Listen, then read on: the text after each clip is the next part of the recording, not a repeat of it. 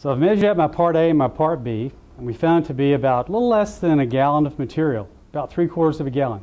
Hey, and don't forget to take out the volume of your piece. You figure the volume of the box to figure the rubber, but also you need to guesstimate or either get a hard measurement and volume of the piece that we're going to overcoat and make a mold out of.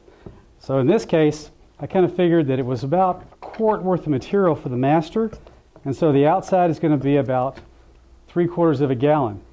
So I used my flat spatula, not a round or square spatula, and I did my first mix in my primary bucket.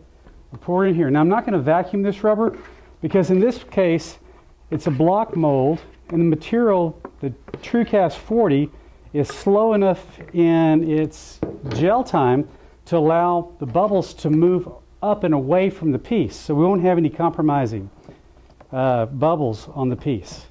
Okay, so I pour it to my second bucket and it looks good. I'm going to scrape the sides and I don't have to do as much mixing as I did in my primary. So it looks like we're ready. And remember, the clock starts when A and B go together, so don't uh, wait. It's time to pour it over it. So I'm going to take my time and I'm going to pour around the piece to let the liquid rubber push the air away from the piece. Take my time here, okay. So you really just don't want to dump it over the piece. You want to gradually bring the rubber up so that you maneuver the rubber into all the nuances of the piece. Don't forget your silicone spray because you do, don't do that, it's a sure bet the urethane rubber will bond to whatever you're trying to uh, make a master of. So we've just about got it.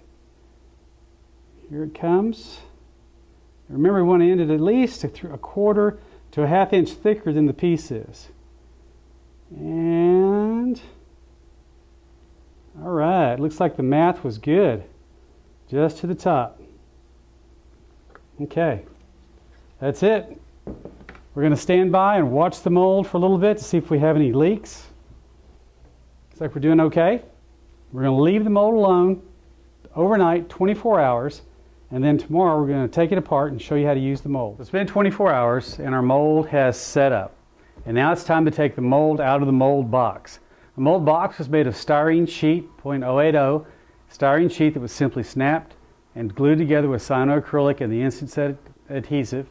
And so now it's time to take it out. Now we're going to destroy the mold box when we take it out. We're going to crack it out, but you can see it's a one-time use and it comes out rather quickly. Just snap the edges off. And it comes off fairly clean.